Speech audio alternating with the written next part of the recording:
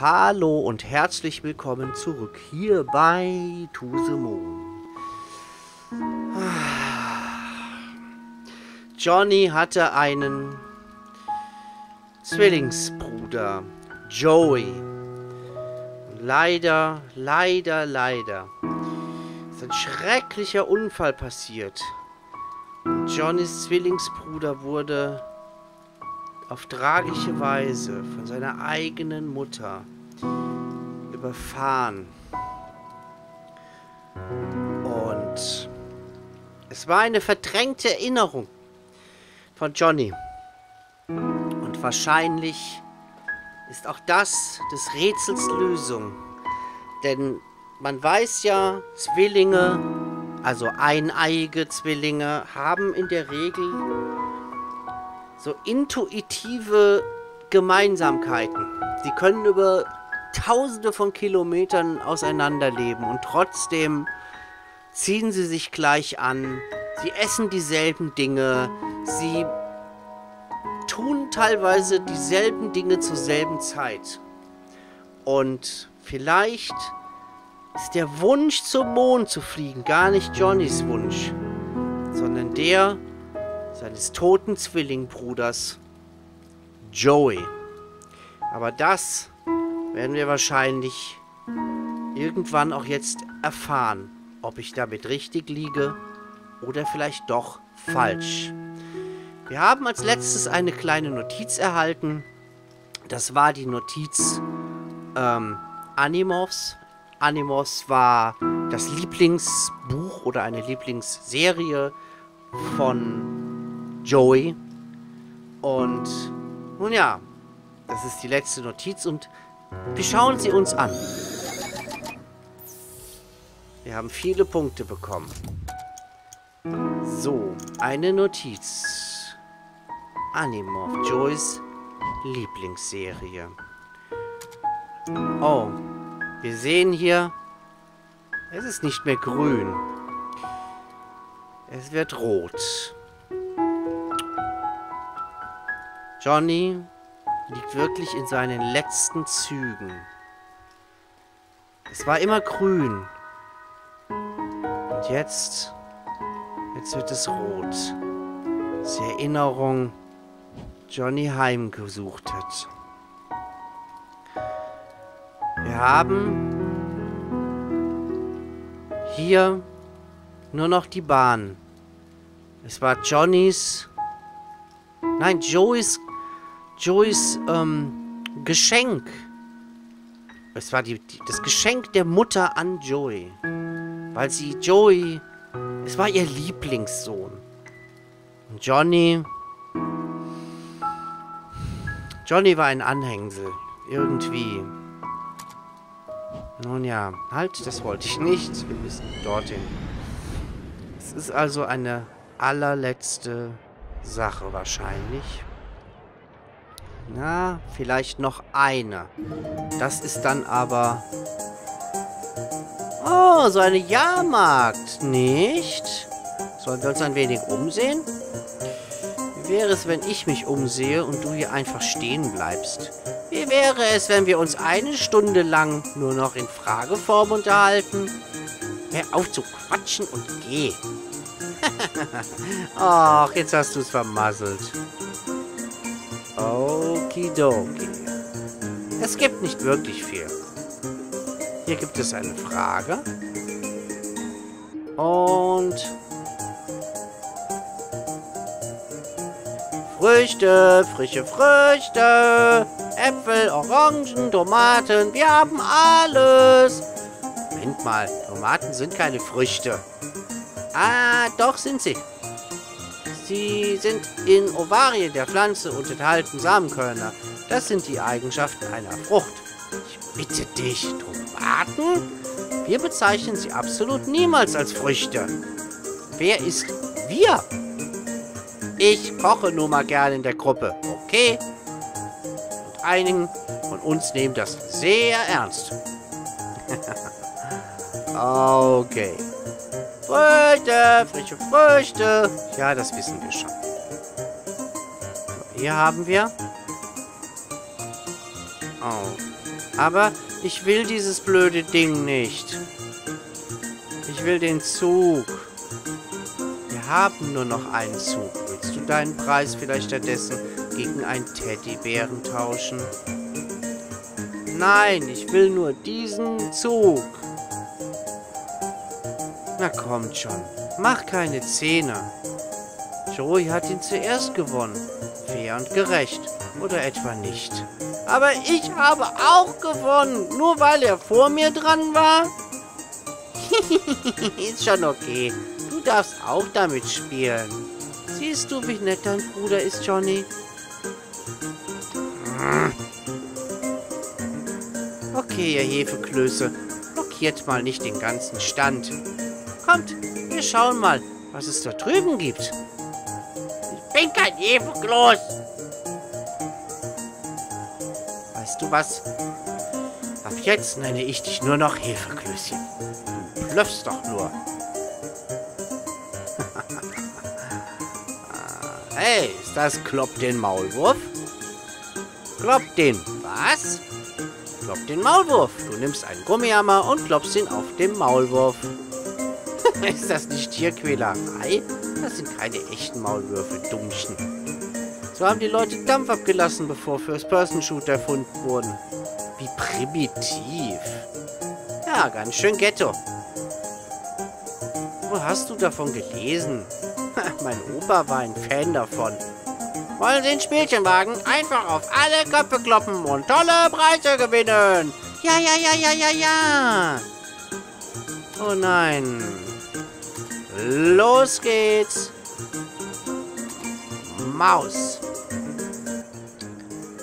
Äh, äh, äh. Up, up, up, up, up, up, up, up, up, up, up, up, up, up. Oh.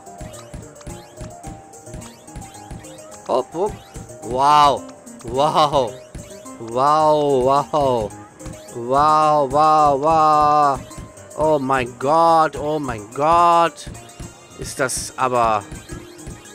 Oh.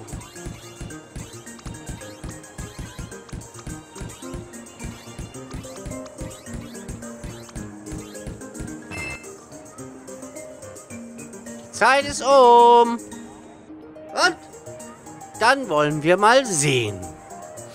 Bei 44 gesichteten Zielen hast du 87 Mal zugeschlagen und dabei 43 Mal getroffen. Hey, das ist aber super. Das ergibt 97% Trefferquote. Ja, das ist neuer Rekord für dich.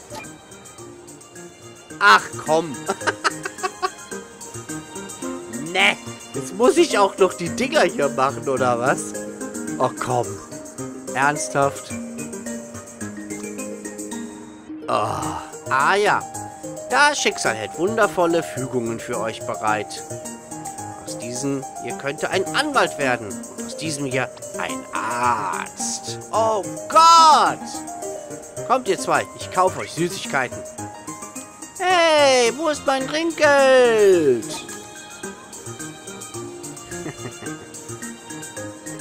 äh. Keine Chance, ich rede nicht mit ihr. Gut oder schlecht, wir kriegen es um so oder so an den Kragen. Jetzt! Sag mal! Nein! Nein!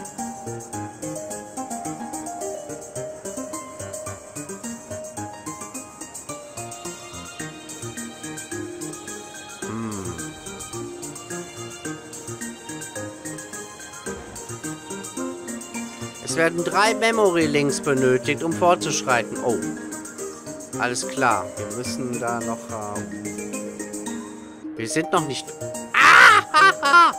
Wir sind noch nicht fertig. So. Ich hoffe, dass das jetzt hier nicht gerade nicht auf die Aufnahme geschlagen ist. Denn ich war etwas zu... Ein bisschen zu schnell. Willkommen! Ich präsentiere das kleinste Riesenrad der Welt. Können wir eine Probefahrt machen? Natürlich nicht. Funktioniert es überhaupt? Natürlich nicht. Sieht aus, als hätte jemand einfach ein paar Stühle an ein Mühlrad geklebt. Ist mir total egal.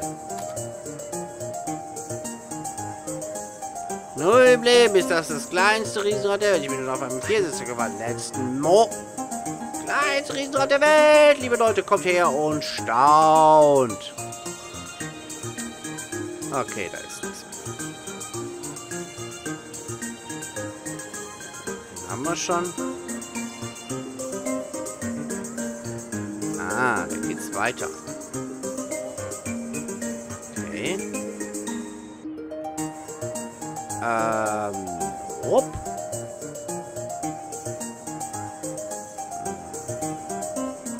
Da sind sie. Hm, njam, njam. Ich werde dich nie verstehen, Joey. Wie kannst du nur diesen Geschmack ertragen? Sie sind so sauer und eklig. sauer und super, das sind sie. Probier doch mal. Ne, ich mag ja noch nicht mal normale Oliven. Du könntest wenigstens mal eine probieren, Johnny. Wer weiß, vielleicht kommst du dann auf den Geschmack. Genau. Ne. Ich bin fertig, Mom. Kann ich spielen gehen?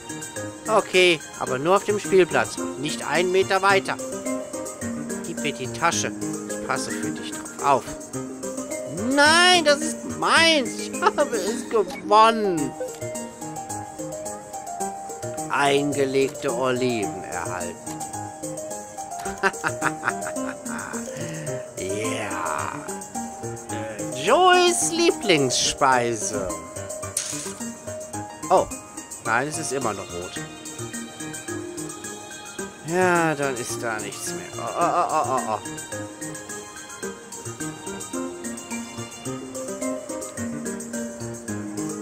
Warte mal. Was ist denn da?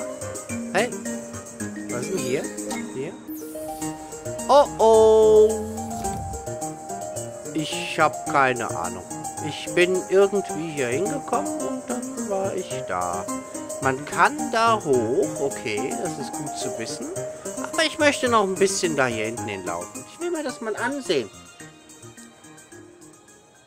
Der kleine Joey.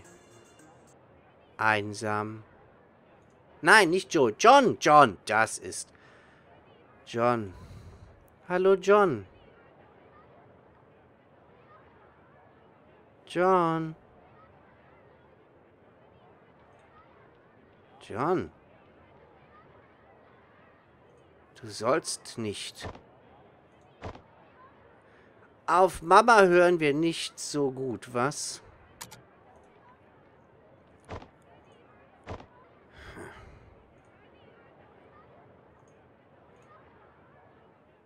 Nein, auf Mama hören wir gar nicht. Und jetzt?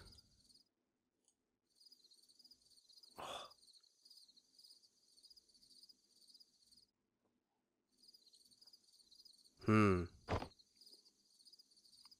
Oh. Okay.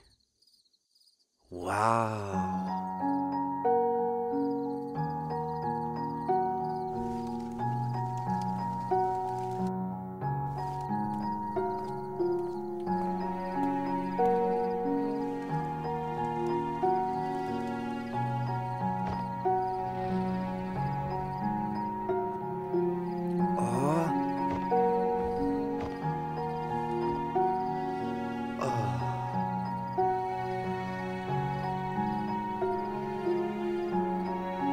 Das ist der Platz.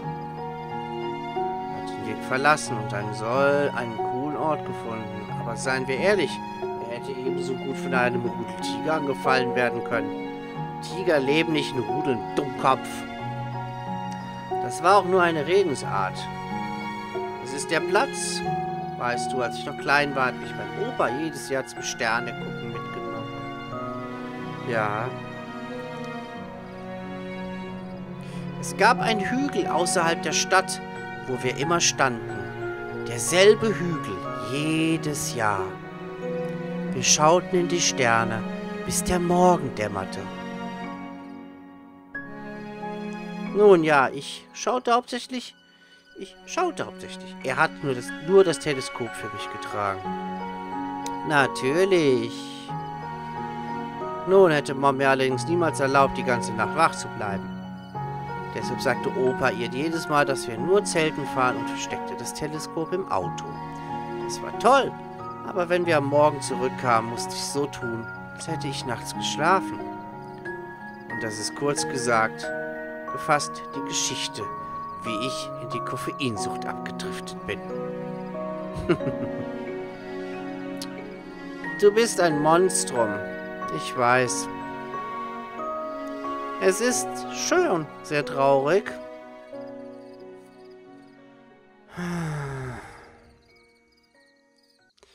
All diese schönen Erinnerungen verloren und niemals wiedergefunden. Und wer weiß, wie viele mehr es noch gibt. Tja, wie du immer sagst, man muss jeden Moment für sich genießen, nicht? Hm. Heilige! Ich hab dir doch gesagt, dass hier Tigerrudel rumstreuen.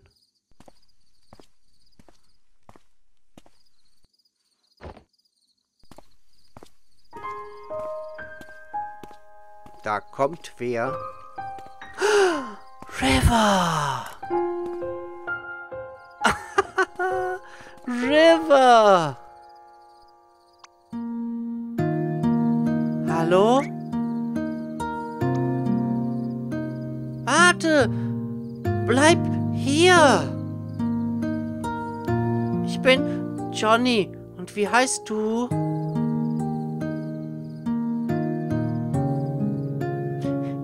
Du bist an meinem Platz. Dein Platz?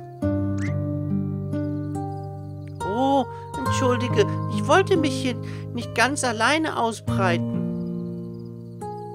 Ähm, willst du dich zu mir setzen? Bist du hier, um die Sterne zu beobachten? Und du?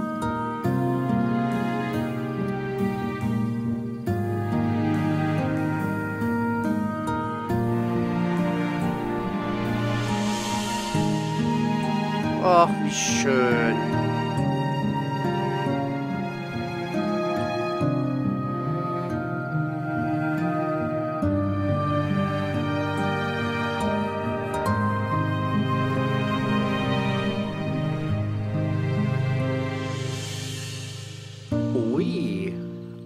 Das ist ja mal ein ganz anderes Bild. Schau nur.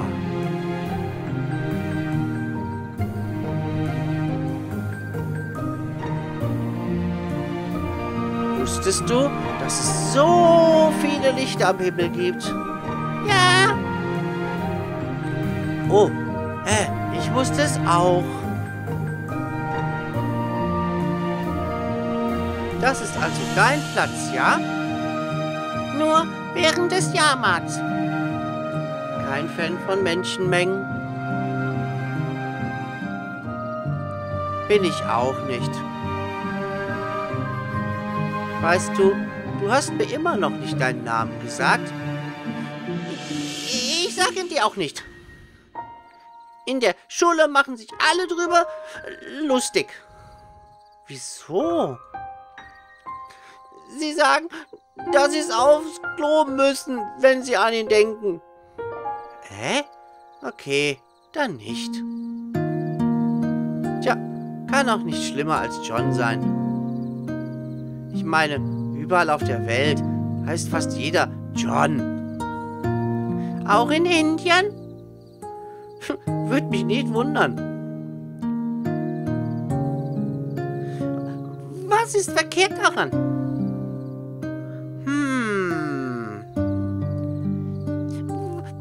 Was ist verkehrt daran, einen Namen zu haben, den jeder hat? Hm. Es ist langweilig, schätze ich. Ich meine, wenn alle so heißen, wo ist da der Sinn? Ich hätte nichts dagegen. Ausnahmsweise mal den gleichen Namen zu haben, den alle anderen auch haben. Das ist wie in diesen Lichtern am Himmel. Von hier unten sehen sie alle gleich aus, aber das macht einzelnen Stern kein bisschen weniger schön. Hm, tja, vielleicht. Diese ganzen Sterne da oben. Was glaubst du, sind sie? Mein Vater sagt, sie sind riesige brennende Kugeln aus, Gla aus Gas. Das denkt er sich doch nur aus. Warum sollte er mich anlügen? Weil, naja, dass manche Erwandten, das machen Erwachsene nun mal. Sie denken sich Sachen aus. Den Weihnachtsmann, Osterhasen, Kängurus, sowas halt. Hast du schon mal versucht, den Osterhasen aus Sternen zu machen? Wie ein Sternbild? Ja, andere Sachen schon, aber noch nie einen Hasen. Möchtest du einen machen? Klar, machen wir das beste Sternbild aller Zeiten. Mal sehen, wer zuerst eins hat.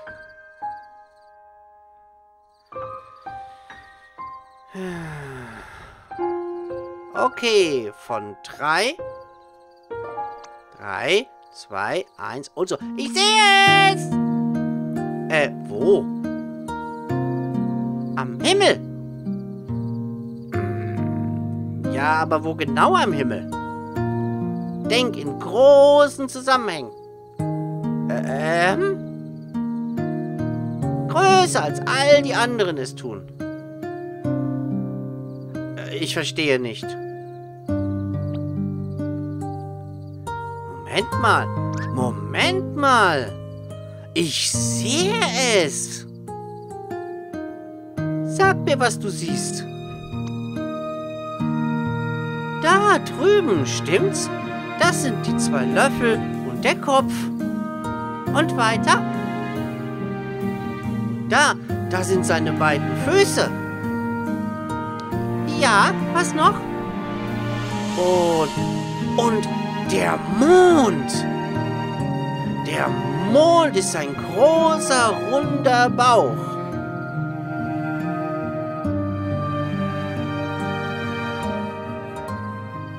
Oh, wie schön. Er kannte sie also schon. Schon als Kind. Also, was glaubst du, sind sie wirklich? Die Sterne, meine ich. Ich ich habe es noch nie jemandem erzählt, aber ich habe immer gedacht, dass sie Leuchttürme sind. Milliarden von Leuchttürmen, die festsitzen am anderen Ende des Himmels. Wow, muss ganz schön was los sein da oben. Ist, aber nicht so. Sie können all die anderen Leuchttürme dort draußen sehen und Sie wollen mit ihnen reden. Aber das können Sie nicht, denn sie sind alle viel zu weit voneinander entfernt, um zu hören, was die anderen sagen. Sie können nichts tun, außer aus der Ferne ihr Licht zu senden. Also tun Sie das. Sie senden ihr Licht zu den anderen Leuchttürmen und zu mir. Warum zu dir? Weil ich eines Tages mit einem von ihnen Freundschaft schließen werde. Deine Tasche, was ist da drin? Oh, der Preis, den ich bei Klopp den Maulwurf gewonnen habe. Hast du das schon mal gespielt? Ich habe es versucht, aber ich bin zu ungeschickt.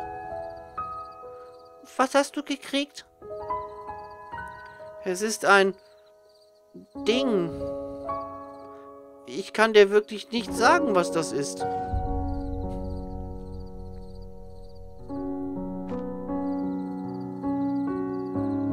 So eine Art Entenbibertier.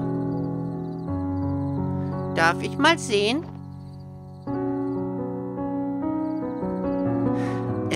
Seltsam aus. Ich wünschte, ich könnte auch so eins gewinnen. Johnny! Mist, Mom ruft mich. Hier. Weißt du was? Behalte es. Es gehört dir jetzt. M mir? Ja, ich kann jederzeit noch eins gewinnen. Ich will ja nicht angeben, aber ich bin einfach die Nummer eins bei diesem, bei dem Spiel. Bist du nächstes Jahr wieder hier? Yep, du auch? Ja. Selber Ort, selbe Zeit? Ja. Und wenn du es vergisst oder wir uns aus den Augen verlieren, dann treffen wir uns eben auf dem Mond wieder. Dummerchen. Genau, auf dem Bauch des Hasens. Johnny! Komme! Oh, mein Heckisack ist noch in der Tasche. Du sagtest, du bist ungeschickt, stimmt's? Versuch es mal damit.